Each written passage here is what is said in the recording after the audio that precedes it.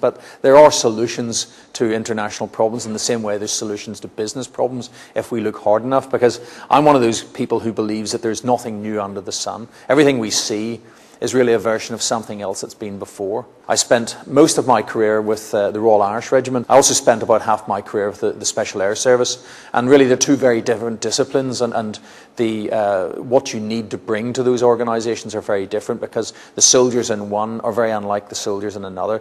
The soldiers in the SAS come from the, the, the, the main army, but they're expected to be much more independent, whereas soldiers in the Royal Irish Regiment have a huge, more dependency on you. They, they expect to be told what's done. And I found myself in a situation where I had to address what I discovered was a lack of confidence in the battalion, at the same time trying to turn them around and get them ready um, to do what they do best. And really taking an organisation and turning it around when it's lost confidence, when it's, it's had that wobble, you have to step back and think, what is it you need to do? And the bottom line was that what I found that uh, on one hand I had to do was to talk to them about what they perceived had gone wrong. And actually, by talking about it, point out that some of the, the, the, uh, the failures that they perceived weren't failures at all. In fact, they'd actually done very well. When you actually find yourself in the position of command, in the position of leadership in a large organization, you suddenly discover no one's ever told you how to do that.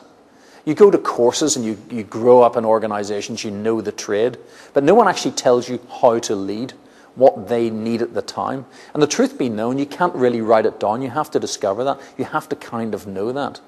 And so people imagine in armies you just bark orders, but there comes a point when barking orders at people isn't enough. They have to want to do it and to follow your lead. And trying to deliver that lead, that's the trick ultimately. And it's a bit like saying to builders, you know, can you go and do some building in my house? Here's the keys. And say, well, what would you like done? I said, I don't know. You know, walk about with your arse hanging out and uh, make tea and make a mess and then give me a bill at the end. Um, And it's, you know, it's like, what would you want, the floor done or the paint? And I said, I don't know, what is, what's everybody else having done? Just go and do the building thing. And that's what the army's been told. Go and do some military stuff in Afghanistan for an indeterminate period till a bad thing stops and the good thing starts to happen. And the generals have said, yes, okay, but it doesn't work that way. And so it wouldn't have worked in Malaya. And that's where Gerald Templer refused to budge until they told him, what are we for? Why are we here? And eventually, even Churchill had to budge in this. And with much pain, he and Lyttelton got their heads together and they went back to uh, Templer and they said, independence by 1960. We want Malaya to be independent by that date. And he said, Thank you very much. I now understand it. And when you think about it, when they said, Get Malaya ready for independence by 1960, everything else fell out as an implied task. To get it ready for independence, of course, you had to stop the insurgency. Also, to get it ready for independence, you had to organise political parties. Also, you had to organise a civil service. Also, you had to transfer the military capacity from the, uh, the, the, British Army to a new Malaysian army. So, you had to build a Malaysian army. All these other tasks fell out, and suddenly everything became clear. And it's a really crucial factor. What are you for? The next point of the three get your priorities right, get your organisation right was get the right people into your organisation.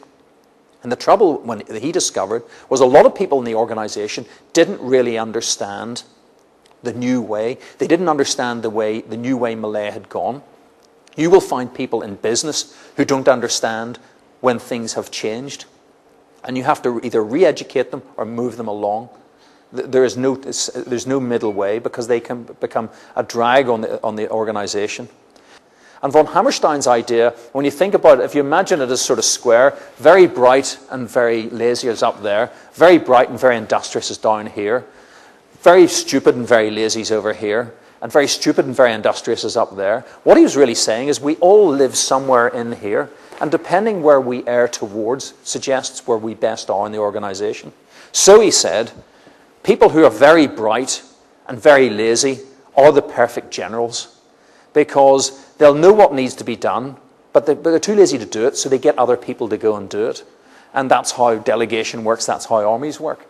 And he said the perfect soldiers in the German army, and it goes for all armies, certainly my battalion, are the people who are very stupid and very lazy.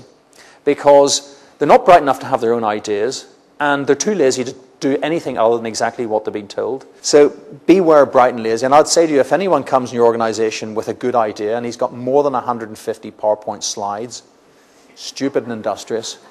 Find them something to do where they won't actually crash the business. And the trick ultimately is that when you get people joining the army, especially young officers coming uh, out of Sandhurst who've been to university with great ideas, they'll be full of innovation and good ideas. The trick is to get the people who have come up through years of experience in the business, who've seen it all before, to evaluate those innovations and tell them how they can make it work. And what it basically means is one can't work without the other. And spirit is ultimately about ownership. It's about people making them, uh, uh, really getting people to understand that success is something that we collectively do. Success is something that works for us all. And ultimately, in terms of that, it's down to the leader. It's the guy at the front who has to be there to do that.